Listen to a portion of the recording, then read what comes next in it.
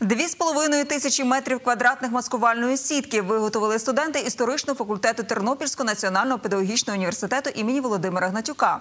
А до зими планують передати українським бійцям 250 пар теплих шкарпеток. Студентів за роботою бачила Любов Гадомська. Маскувальну сітку студенти-історики почали плести ще два роки тому, коли дізналися, що її конче потребують на фронті. Тому активно взялися до роботи. Чому ми це робимо? Ну, в першу чергу, від кожного з нас залежить, наскільки швидко прийде наша перемога. Перемога України над тими сепаратистами, над тою нечистю, що зараз е, є на українському Донбасі. І тому ми е, вирішили так приєднатися до нашої спільної перемоги і зробити так, щоб вона прийшла як найбільш скоріше. Якщо ми прагнемо до перемоги, то нам вдається все легко. Ми вчимося добре, старанно, а займаємося плетінням сітки по декілька годин після пар. Плетіння цієї сітки це те, що ми робимо це саме з добротою і з цією е, любов'ю, вірою, що все-таки буде добре там, е, де наші е, навіть е, родичі, батьки, друзі чиїсь, чиїсь навіть кохані. І ми розуміємо, наскільки їм там е, важко і наскільки вони жертвують собою. І тому витрачені цих одна-дві години після пар е, це для нас просто є як певна жертва саме тим людям.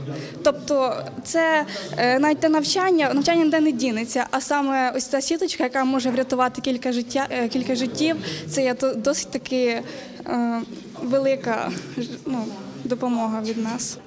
Для виготовлення сіток знадобилася понад тонна тканини, яку варили зі старих простирадл та наволочок, що їх приносили викладачі, студенти і небайдужі тернополяни.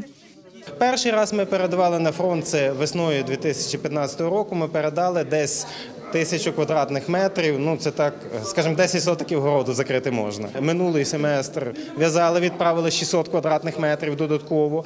І цей семестр ми оце власне закінчився. Ми плануємо передати десь 900, якщо встигнемо, то й тисячу квадратних метрів. Знову ж таки, ще зайвих 10 сотиків.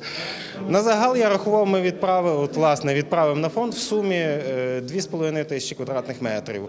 Минулого року на фронт пішов доктор історичних наук, професор університету Іван Зуляк. Вихованці факультету всіляко підтримували свого наставника та 80-ту бригаду, у якій він служив. Особлива е, подяка, я би е, сказав, це студентам нашого факультету історичного, які підтримували не тільки десь е, і сітками, які вони постійно постійно плетуть, постійно, які підтримували десь і добрим словом, і телефонували, і, скажімо, подавали теми курсових, які вони хочуть писати через рік, коли я повернуся. З іншого боку, вони постійно знали, що потрібно привітати із Новим роком, і з Різдвом, там, і з Великодним. Ну я би хотів ще подякувати і гімназистам Тернопільської української гімназії імені Івана Франка, які також підтримували е, нас і телефонували, і е, там десь якісь солодощі збирали, подарунки. Тобто підтримка була безперечно. Без підтримки там дуже непросто, дуже важко. А підтримка була, так що е, з цим все гаразд. Майбутні педагоги допомагають бійцям не лише маскувальними засобами, а й теплим одягом.